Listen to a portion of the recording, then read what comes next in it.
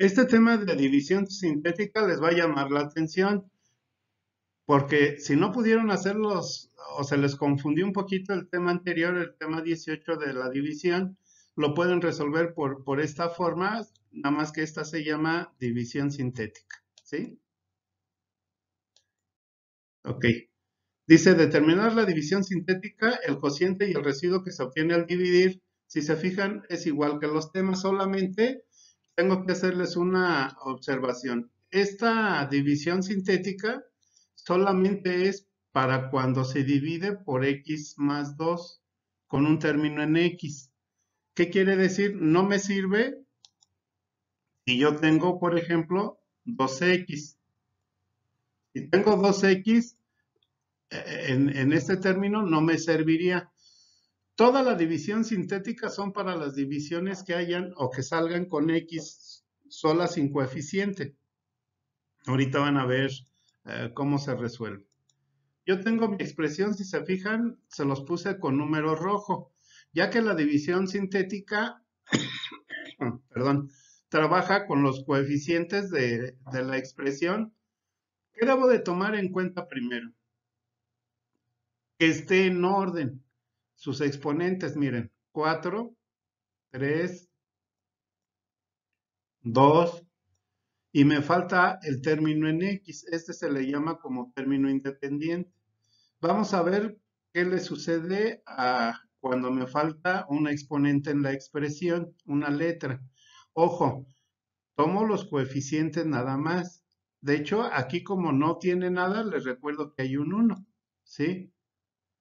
Bien, vamos a ponerlos. Pongo mi 2 con su signo, más 1 que no está, pero se debe de poner menos 16, 0. ¿De dónde sale ese 0? del término en X que no existe en la expresión. Cada que no exista un término, le voy a poner un 0 para indicar que no está.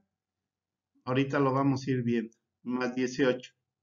¿Sí? Entonces, si, si lleváramos un orden, sería 4, 3, 2, 1 y término independiente. Siempre debe de ser de mayor a menor, contando hasta el 1. Si no hay, cada uno, por ejemplo, si no hubiera x cúbica, este 1 sería 0.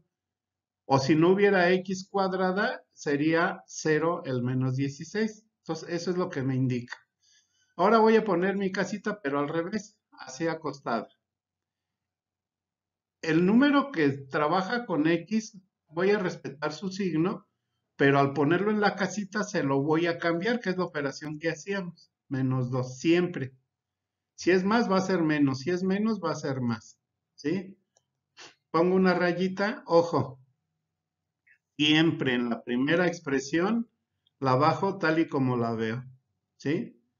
¿Qué voy a hacer? Voy a multiplicar mi, mi, mi número, menos 2 por más, más por menos, menos 2 por 2, 4. Y lo pongo, menos 4.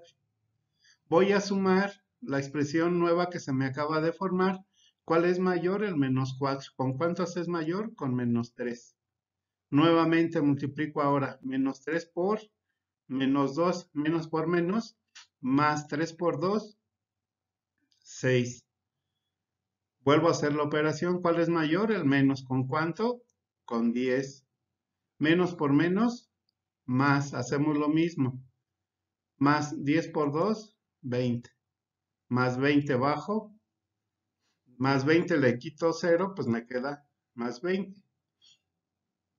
Nuevamente, más por menos, menos 20 por 2, 40.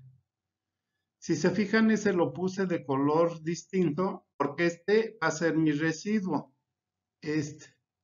En todas las operaciones, el último número es lo que me va a sobrar en la división. Si yo empecé con x cuarta, ahora voy a empezar con x cúbica y lo voy a ir bajando, ¿sí? Con su, con su coeficiente, es x cúbica que sigue, x, x cuadrada, x, fíjense cómo se va a ir bajando. Menos 3x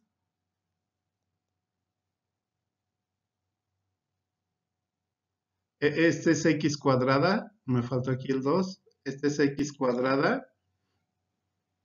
X, vamos a ir decreciendo en 1. Si empecé con x cuarta es x cúbica, x cuadrada, x, mi término independiente, y mi residuo que es menos 22. Así estaría terminada mi división sintética. Aquí tengan cuidado con ese, se me pasó el, el 2, pero lleva un 2 ahí. Vamos a hacer esta para ver si nos quedó claro.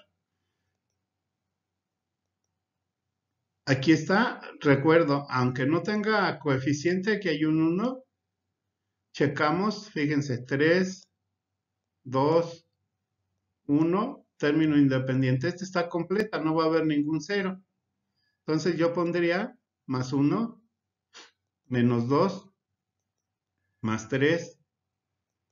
Mi término independiente, repito, vamos a ir de mayor a menor en exponentes, 3, 2, 1, aquí están sus coeficientes, término independiente, pongo mi casilla, este menos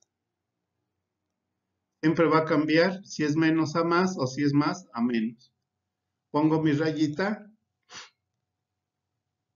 bajo el primero, siempre lo bajo, multiplicamos más por más, más, 3 por 1, 3. Hacemos nuestra suma, menos 2 y más 3, más 1. Multiplicamos de nuevo, más por más, más 3 por 1, 3. Más 3 y más 3, más 6. Más por más, más 6 por 3, 18. ¿Cuál es mayor? 18 con cuántas? Con 13. Les recuerdo, el último siempre va a ser mi residuo. Como empezamos con x cúbica, chequenlo. Estos nuevos coeficientes, estos son coeficientes, se va a degradar en 1. ¿Qué quiere decir? Que voy a empezar con x cuadrada, luego con x, mi término independiente, y mi residuo 13. Si se fijan, está sencillo, no está tan complicado. De hecho, la división anterior, el tema anterior, lo, pudieron hacer de esta manera. Este se los pongo para ejemplificar más claro lo de los exponentes. Fíjense, 6, ¿qué seguiría 5? No hay 5. Entonces sobreentiende que aquí va a haber un 0.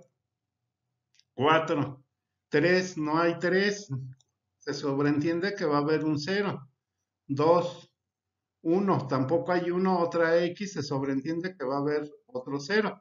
Si se fijan, yo voy a tener 1, 2, 3 ceros, pero vamos a ver cómo se hace.